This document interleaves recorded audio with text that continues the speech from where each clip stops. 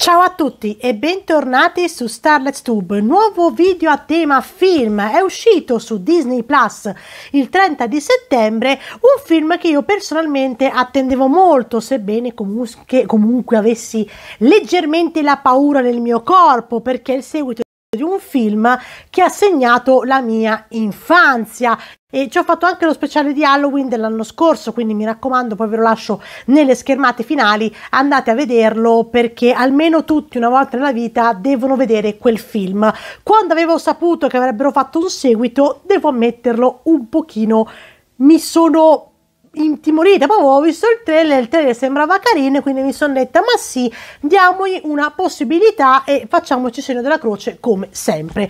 Oggi vi parlo di Hocus Pocus 2, film del 2022, disponibile appunto su Disney Plus e che riprende, diciamo, gli eventi eh, che sono successi, anzi, neanche tanto, diciamo che è una storia a sé stante, ma comunque con dei riferimenti a quello che è accaduto 29 anni prima nel primo film, ovvero Hocus Pocus, e devo ammettere che è stata una visione divertente e leggera esattamente come mi aspettavo. Come sempre vi avviso potrebbero esserci spoiler per quanto cercherò di non farne, quindi se siete quelle persone che non vogliono neanche tanto così, altrimenti mi insultate i cugini fino alla dodicesima generazione, vi invito a rimandare la visione del video e a tornare quando avrete visto il film. Se invece gli spoiler non vi fanno nessun tipo di effetto o volete semplicemente godervi un mio video, allora buona visione a tutti. Come sempre, prima di iniziare vi ricordo che se volete sostenermi dovete iscrivervi al canale e soprattutto seguirmi su Instagram, link in descrizione, dove troverete anche il link per seguirmi su TikTok, quindi mi raccomando vi aspetto anche lì,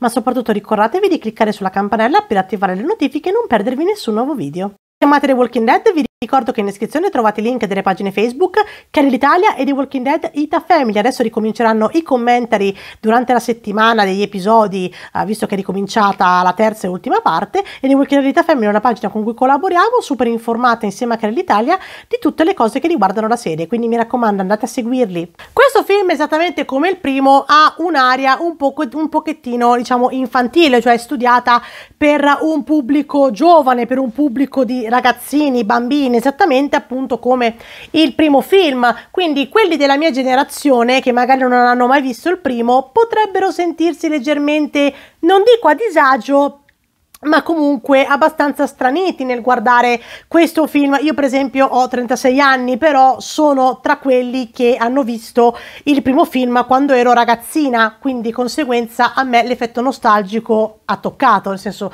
se volevano puntare anche su quello, su di me ha fatto effetto, perché devo ammettere che rivedere le tre sorelle Sanderson mi ha dato comunque un brivido e soprattutto con questo secondo film abbiamo l'opportunità di esplorare il passato delle tre sorelle. Uh, perché appunto loro vivevano a Salem, ma diventano, loro lo diventano streghe. Noi io pensavo che loro lo fossero già, quando, perché comunque quando è iniziato il primo film, sebbene comunque loro vivessero lontane dalla società, noi non sapevamo se effettivamente erano già streghe o quant'altro. Invece qua ci viene chiarito che dopo un diciamo roccambolesca, una, una roccambolesca fuga dalla comunità con questo parroco, questo pastore che vuole a tutti i costi far sposare Winifred con un tizio e, e, poi qui abbiamo l'opportunità di vedere anche un giovane Billy Butcherson che tecnicamente non è l'amato di Winifred, si sono scambiati solo un bacio probabilmente perché lui era ubriaco.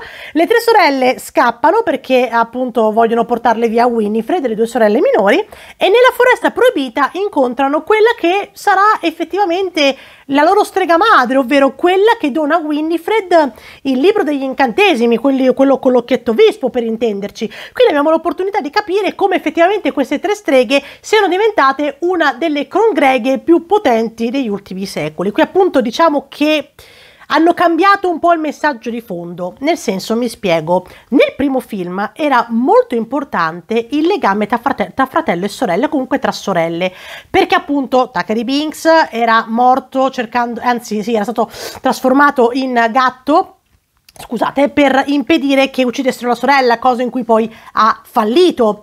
Uh, Max era appunto molto le- era legato a sua sorella Dani, però comunque la trattava un po' come una, una piccola peste e quindi era un po' una, una, zecca, possiamo dire Dani, però lui alla fine le voleva bene e infatti poi lui ha rischiato il tutto e per tutto per salvarla perché il legame tra fratello e sorella è indissolubile. E qui appunto abbiamo l'opportunità anche di studiare meglio il legame che unisce le tre sorelle Sanderson, perché nel primo film sì è stato esplorato, però diciamo che, e anche in questo film succede, Winifred è un po' la sorella alfa che tratta le altre due un po' come se fossero insetti, anzi in questo film arriva addirittura quasi anche a definirle degli scarafaggi, loro niente, loro appunto stanno zitte, non dicono niente, non... arrivano fino a... ci provano a un certo punto a farsi rispettare, ma alla fine Winifred le rimette in riga. Però adesso ci arriviamo perché questo discorso poi va a ricollegarsi al finale di cui vi parlerò appunto dopo. C'è questa giovane sedicenne, Becca, che ha due amiche del cuore, di cui purtroppo allora una si chiama, oddio, aspettate che vado a cercarmi i nomi poi torno. Ecco, me li sono cercati, sono uh, Easy e, uh, e Cassi, no, ho dei problemi, non ci sta più niente qui dentro ragazzi, però con Cassi hanno preso un po' di distanze perché lei appunto è la classica amica che dopo che si è fidanzata uh, diciamo che ha sfanculato un po' le sue amiche per quanto non fosse sua intenzione. Loro tre erano un gruppo inseparabile che uh, praticavano anche dei rituali Wicca, li possiamo chiamare così, e appunto sei a Salem, giustamente, non puoi non praticare uh, rituali Wicca pacifici e tranquilli come fanno loro. È appunto il sedicesimo compleanno di Becca e vanno al negozio di magia di Gilbert in cui Gilbert sta appunto narrando la leggenda delle sorelle Sanderson, in cui vediamo anche dei frame del primo film in cui le sorelle Sanderson uccidono uh, la sorella di Takeri, come vengono impiccate, come maledicono uh, diciamo Salem uh, e, e, appunto lui poi narra come nel 29 anni prima siano state viste girare in città per poi scomparire di nuovo. E Gilbert appunto è un personaggio diciamo che è un po' non dico è chiaramente è interessata alla magia e ci sa fare, però è un pochettino, diciamo, la componente comica della, della situazione, chiamiamola così.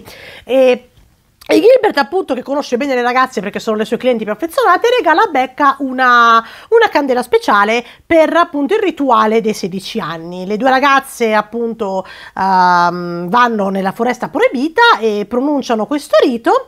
Uh, il problema è che accendendo la candela regalata di Dar Gilbert scoprono che è una candela dalla fiamma nera e voi vi ricordate cosa succede quando una candela della fiamma nera viene accesa? Nel primo film la accendeva Max convinto che fosse una bufala e invece poi sti cazzi quel ragazzo, visto che era adolescente e vergine, ha riportato in vita le sorelle Sanderson, in questo caso sedicenne, vergine, accende la candela della fiamma nera e tac, le tre sorelle sono tornate, sempre magistralmente interpretate da Beth Midler, Sarah Jessica Parker e Katy Najimi, che devo ammettere, quella donna lì ha fatto una dieta della Madonna perché si vede che è dimagrita tantissimo, perché nel primo film era appunto paffutella, cicciottina, sempre carina, però si vede che comunque l'età le ha, le ha fatto perdere peso, insomma, probabilmente anche per comunque va bene, sta benissimo, sono tutte e tre informissime. La Sara Jessica Parker sembra non essere cambiata di una virgola da quando interpretava Sara 29 anni fa. E la Beth Midler è sempre, veramente, sì, la parte di Winifred Sanderson stata, sembra essere stata cucita per quella donna lì. E qui appunto abbiamo le due ragazze che cercano di destreggiarsi uh, in degli stratagemmi e qui possiamo vedere le sorelle Sanderson anche alle prese con l'epoca moderna, perché comunque nel 1990, quindi 29 anni fa, sì, la tecnologia c'era, ma non era ai livelli di adesso. Adesso abbiamo i social media, abbiamo, la, abbiamo le porte scolastique, si, si spaventano di fronte a loro. Che cosa fanno queste ragazze? Convincono le sorelle Sanderson che adesso ci sono dei filtri di bellezza, dei, dei, dei, della, delle creme, comunque cose così, che vengono create usando le anime dei bambini. Adesso non c'è più, non c'è più bisogno di andare a mangiarsi le anime dei bambini. Adesso trovi tutto in negozio, cioè fantastica questa cosa. E le portano appunto in questo, in questo supermercato, in questo store. Uh, e si spaventano davanti a una porta scorrevole e pensano che sia magica, cioè una roba allucinante. E sono lì queste queste a un certo punto, con la loro camminata magistrale in tre, mm, ve la ricordate? È diventata leggenda quella camminata. Uh, e quindi di conseguenza le vediamo che si mangiano creme, si spruzzano in bocca gli spray di tutti i tipi e arrivano addirittura delle ragazze vestite come loro che si fanno un selfie. Vediamo proprio Sara anche fare il labbrino. Cioè, una roba so- devo ammettere che hanno puntato molto sulla simpatia. E va bene perché anche nel primo film anche nel primo, cioè l'atmosfera del primo film comunque hanno cercato di ricrearla sebbene comunque nel primo si mantenesse comunque quell'aria un po' cupa tipica di Halloween. Sarà che appunto questo film l'hanno fatto uscire anche abbastanza distante da Halloween infatti io speravo che uscisse il, uh, verso la fine di ottobre così da farne lo speciale di Halloween ma ahimè non sono stata accontentata. Quindi di conseguenza le, le due poi, poi alla fine grazie a un un commesso cretino, le tre scoprono di essere state ingannate, ma uh, le due ragazzine riescono a proteggersi con il mitico cerchio di sale e quindi di conseguenza adesso cosa vogliono? Praticamente alla fine cosa si scopre? Che Gilbert l'ha fatto apposta a dare a Becca la, la candela della fiamma nera perché lui voleva riportarla in vita perché secondo lui quelle tre streghe non sono state comprese. Erano al di là eh, pensavano al, uh, erano, erano avanti con i tempi papin papera no figlio bello. Se tu avessi vissuto quello che hanno vissuto quei tre poveri ragazzi nel primo film, forse ti saresti ricreduto perché queste tre sono chiaramente dei mostri che vogliono mangiarsi delle fottute anime di bambini. Infatti, quando le tre sorelle arrivano per recuperare il libro degli incantesimi, uh, Gilbert, vedendo che si girano le due ragazzine in un cazzo di seminterrato per l'eternità, comincia a rendersi conto di aver fatto la vaccata. Però cosa succede? Intanto trovano il libro e, però qui l'obiettivo cambia, nel senso che qua non hanno messo, e qui sono stata contenta, la tiritera, dobbiamo mangiarci più bambini possibili per rimanere giovani e belle e vivere per sempre. No, qui hanno in mente di fare un incantesimo super overpower che le renderà potenti e immortali per sempre. Però la strega madre aveva dato loro un avvertimento che quell'incantesimo non avrebbero mai dovuto farlo perché richiede un enorme prezzo da pagare. Però a quanto pare Winifred se ne sbatte i coglioni della promessa che ha fatto e anche il libro cerca di impedirle di farlo. Uh, però che cosa fanno queste tre, queste tre insomma, cioè Winifred alla fine è Winifred la protagonista della, della, pellicola, perché diciamo che qui si mantiene la tradizione che Sara e Mary sono un po' di contorno, sono un po' la componente comica, sono le, le due rimbambite, chiamiamole un po' così. E cosa fa Winifred? Incanta la clessidra delle Sanderson in modo che Gilbert sia costretto ad aiutarle a trovare gli altri ingredienti. E tra questi c'è appunto la testa del, de, dell'amato, ovvero quella di Billy Butcherson, che però dice io non sono l'amato di nessuno, io le ho solo dato un bacio in un momento di follia, io non ho mai amato Winifred, quindi qua viene appunto alla, alla luce la verità appunto su Billy Butcherson, che è interpretato sempre da Doug Jones, che l'ha interpretato anche nel primo film se non ricordo male. Aspetta che, che, che controllo, ma penso, penso proprio di sì. Adesso sto andando a vedere. Ma penso, ma sì, sì, infatti l'ha interpretato anche nel primo film, quindi questo è, anche questa è una cosa molto bella che sia tornato a interpretare comunque questo ruolo molto divertente, molto simpatico. E nel frattempo le Winifred scoprono che il sindaco, ovvero, adesso sto guardando, Uh, aspettate che guardo, guardo, no, devo guardare ragazzi perché comunque sono in area. Il reverendo Trasche, cioè il sindaco Jeffrey Trasche, è un antenato del reverendo che la, le voleva separare e quindi di conseguenza, siccome serve anche il sangue del nemico per l'incantesimo, decidono di andarlo a cercare e qui non può mancare la canzone incantatrice di Rito, però stavolta è tutto trasformato in un flash mob in cui questi poveri disgraziati ballando cercano il sindaco su ordine di Winifred. Nel frattempo le due ragazze sono intrappolate e cercano di contattare la loro amica, ovvero uh, Cassie, però non ci riescono perché uh, Winifred appunto, appunto un incantesimo che nel seminterrato nessuno le avrebbe mai viste né sentite. Grazie a della polverina che hanno preso appunto da Gilbert e infatti vediamo che qua Becca comincia a sviluppare le sue capacità di strega, uh, riescono a liberarsi dall'incantesimo e corrono in soccorso dell'amica e del padre. Oltretutto il sindaco anche abbastanza simpatico. Lui sta facendo la coda per questa benedetta mela candita, ma riceve una telefonata delle due amiche della figlia che cosa volevano fare? Volevano che uh, lui tornasse a casa in modo da poterlo avvertire e portarlo via, però purtroppo così non è stato. E lui è andato, ha sorpreso la figlia a fare una festa e poi è tornato e non è riuscito a prendersi questa mela caramellata. Poverino, che pena immonda. Nel frattempo, appunto, le sorelle Sanderson arrivano a casa di, di Cassie uh, con appunto Becca e Easy che l'hanno raggiunta e qui creano una, un forte cerchio di sale che intrappola le, le, due. Ah, non vi ho detto una cosa. Vi ricordate la famosa scena del È ora di volare? Ve la ricordate? Se avete visto il primo film, sicuramente. Qui c'è stato un upgrade per alcune cose, perché se vi ricordate, nel primo film Winifred aveva la scopa normale. Sara a un certo punto, perché poi le scope le perdono nel, durante il primo film, Sara aveva trovato un mocio, mentre uh, uh, eh, Mary, scusate, ha avuto un lapsus, aveva l'aspirapolvere. Qui hanno fatto un upgrade. Winifred ha sempre la scopa, l'aspirapolvere col che tutto fa le bolle l'hanno dato a Sara e a Mary hanno dato dei cazzo di rumba che hanno vita propria. Oh, libidine! Libidine, cioè una libidine coi fiocchi, ma una roba allucinante, belle. Lei che, che sta su sti rumba in aria, cioè, vabbè, io, io, poi non l'ho preso troppo sul serio questo film, non sono stata lì a fare paragone o quant'altro, me lo sono goduto semplicemente come un sequel che ha voluto puntare sulla nostalgia e ammetto che con me ci sono riusciti. Comunque sia, ecco appunto, uh, mentre le hanno intrappolate nel cerchio di sale, loro spiegano la situazione alla sua amica. Nel frattempo arriva anche il fidanzato, che è un po' lo scemo del villaggio, appunto. E che cosa succede? Come fanno le tre sorelle a liberarsi, penserete voi?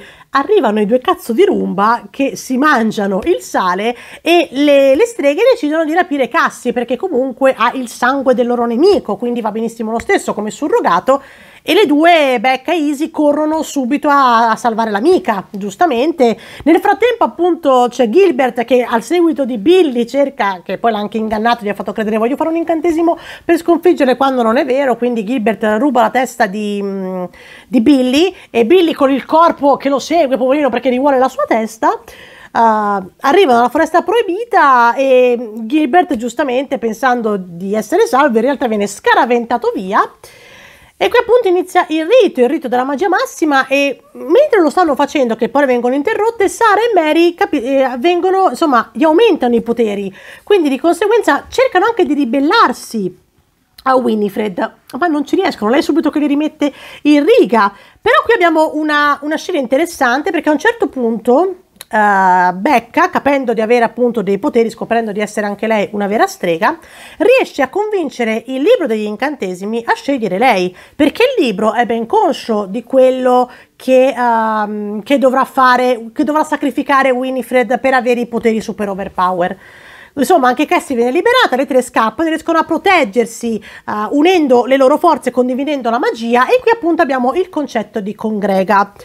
Le tre ragazzine riescono a tenere testa alle Sanderson perché sono unite da un'amicizia profonda e invece le Sanderson, per quanto siano sorelle, non sono propriamente legate tra loro perché è Winifred la femmina alfa, quindi di conseguenza Winifred le tiene in scacco, le tiene, le, le considera anche, le dice proprio sono dei parassiti e loro non dicono niente, quindi non hanno quel legame che le unisce profondamente fino alla fine perché se avevamo, diciamo io avevo anche il dubbio che avrebbero dato la classica redenzione che ultimamente la Disney dà ai cattivi nel live action, tranne a Scar che del de, de Re Leone a Shere Khan del libro della giungla, grazie a Dio, non se la meritavano quelli una cazzo di redenzione.